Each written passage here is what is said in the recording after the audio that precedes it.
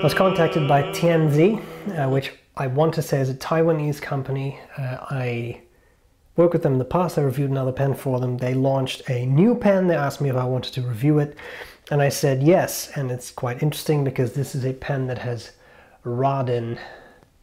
Uh, I have been corrected once. I think it might be Raden, um, but let me know, please, again, because I forget.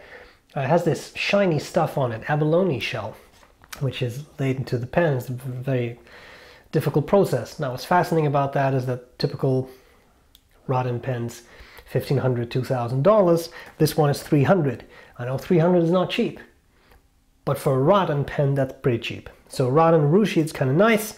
Um, we should talk about this. So I'm going to cover the parts of the pen.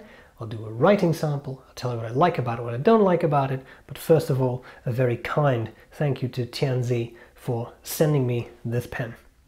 Let's get started. Okay, let's talk about this Tianzi Urushi Raden pen. It says pen and friend. Wooden box, beautiful little box you get, very, very nice and refined. Uh, and the, the accoutrements are quite nice as well. You get this, this pen kimono, which is nice and pretty soft on the inside. I like how this is done. Um, looks cool again looks refined. This is the kind of stuff you get with Nakaya pens for example. Notice a little bit of it's not really texture but the way it looks textured nice. It doesn't look cheap right? So I really like that. Uh, beyond that you get this sort of frilly stuff and you get a little pen condom and that's that's pretty much it. Let's look at the actual pen and let's start by looking at that pen right next to a Pilot Metropolitan it's a nice size pen, not too big, not too small. I think this is a size that works well for a lot of people. Um, yeah, good size. I don't know what else to say about it. It's a good size. Let's talk about the different parts of this pen. For now, the Tianzi pen, um, I found a price of 300 US on penrealm.com. You can choose between flowers and planets. I'm not quite sure the planets is released yet because I've only seen the flowers. This is the flowers, like these are flowers, right? Um, fine steel nib, that's the only option I could find. It is number six. Uh, plastic feed, a converter is included. You get that wooden box, and it does list this as made in China. Looks pretty refined to me though. So let's look at the parts of this pen. On top, it's just a flat top uh, we get the nice little clip. These look a lot like the clips Leonardo uh, uses uh, with the little little wheel. It's it's fairly stiff, but the wheel works very well. Uh, I like the size. I'm just putting the clip near the bottom. I like the sorry, not size, but shape of the cap quite a lot. A little bulbous, but not too much. And same thing with the barrel. Uh, little bulbous, and then it tapers down. The pen or the cap I should say, unscrews. Then you have a nice section, flares out a bit near the end. You have some threads, which are a little sharp, but the section is big enough for me that I don't feel them as I hold the pen. And if you want to, you can more or less post it. Always be careful, it's a lacquered pen, right? So that you don't want to scratch the end. I think, sorry, the end of the barrel. I think this is probably big enough for a lot of people to use unposted. I can stretch out my fingers and I still have enough pen to make it work. The nib is marked Tianzi. F for fine, has a nice little logo, some scroll work on it. As I said, I think is the only nib grade you can get right now. And then we have a nice sort of flat feed, but it is plastic and not ebonite, for example. Barrel unscrews, and then we have this nice little uh, cartridge converter that was supplied with the pen.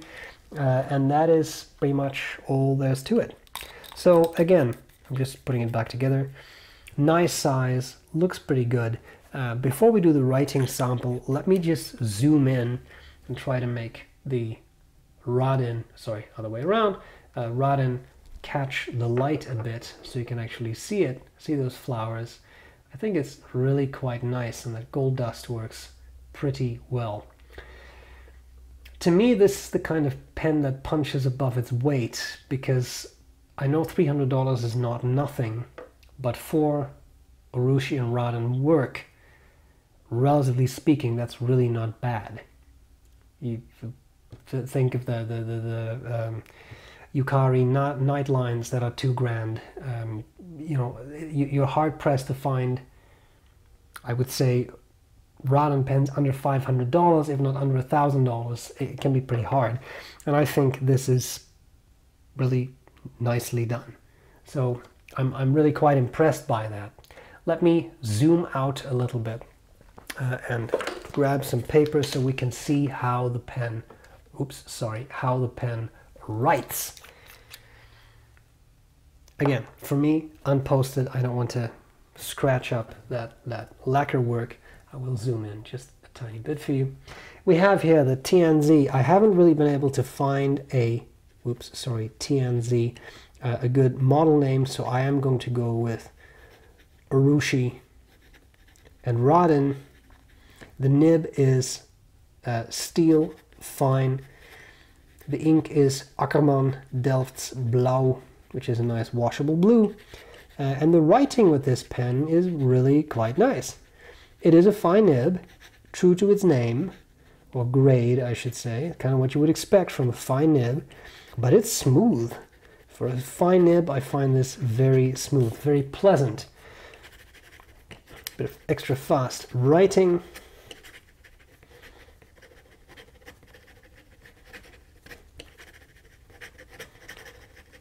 no real skips that I could tell.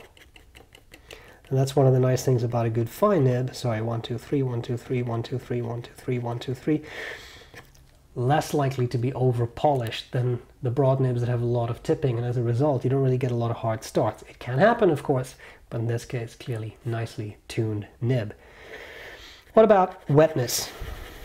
Well, it's not the wettest writer around. This is a drier ink, but I mean, I find it a little dry. Um, I would probably make this a little wetter uh, if this were my pen, which I, I guess it is now. Um, anyway, that's that's just me. It certainly writes.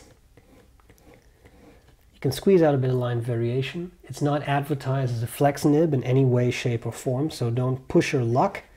But you can add a little bit of character to your writing. For those of you who enjoy such a thing, there is always the reverse writing, which in this case is not a great success. As you can tell, um, it runs dry very quickly and you can barely even read that writing. So, fun pen, nice, pretty smooth, interesting Raden work. I think we need to discuss what I like and what I don't like. Let's do that next. What do I like? What do I not like about this pen? I'll start off with dislikes this time because I don't have that many. I discussed this pen with Doug Rathbun that we, we met up in, in Three Hills. You may know his pen review channel as well. He had one, I was awaiting mine. I forgot about it actually. It's weird, I already have one in the mail. Um, I was like, oh, that's a nice pen. And a couple days later it arrived. Anyway, he said he noticed some tiny gaps in the in the the, the in, in Raden inlays um, that you need a loop to see, right? So it's not that, that there are visible gaps. I have really looked for them. I don't really necessarily see any clear gaps on mine, but I just wanted to point that out, that that might be something in some cases. And again, only with like a 10 power loop, right? So it's not, don't expect anything you'd see with the naked eye. That really is my dislike because I have to be honest, I find this a pretty comfortable, nice pen. It's nicely made. I like the shape. It looks fairly refined. I personally would like a little bit more if it had a rounded top as opposed to the flat top because I don't really like flat top pens, but that's very personal. The craftsmanship to me looks pretty good. The Raden looks nice. The gold, sort of, I always call it gold dust, like the gold sprinkles, it looks pretty good. It's fairly light. It's a nice writer. Comfortable section. I don't really know what to say. $300 is not cheap, but like I said before, relatively speaking, that's pretty cheap when it comes to Raden work. If Pilot would make a pen like this, it'd be $2,000 guaranteed. But it's not a Pilot pen. It also has a steel nib. Steel nibs are cheaper I think a lot of people at this price would expect a gold nib. I don't think that is an unfair demand. Bear in mind that Raden takes a lot of time and effort and skill to do properly. So that drives up the price. This is not something that gets churned out by a machine 500 a day. An artisan, an artist, sorry, has to put all these little pieces of abalone shell in. There's lacquer on top. It's an involved process and that will cost you something, right? You do have to take that into account. Having said that, I think it's a really nice pen. It's a pleasant writer. It's a fun piece. So I don't know. I really like it. There isn't much else I can say about it. A kind thank you to Tianzi for sending me this. I really appreciate it. I hope this was useful and um, I'll gladly see you later. Bye.